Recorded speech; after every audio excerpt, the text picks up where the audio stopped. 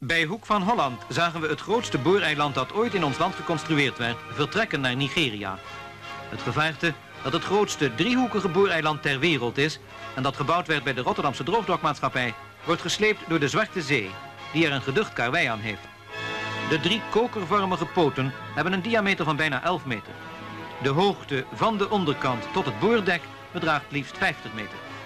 De nu neergeklapte boortoren heeft staande een hoogte van 47 meter, waarmee de hele constructie bijna 100 meter hoog wordt. Belangstellenden en familieleden van de opvarenden keken de sleep na. Een maandenlange reis wacht de Setco 135.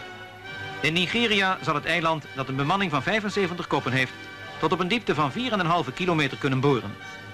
De Zwarte Zee is werelds sterkste sleepboot, maar hij lijkt klein voor dit reuzenboereiland, dat naar Afrika's kust een afstand van meer dan 7000 kilometer voor de boeg heeft.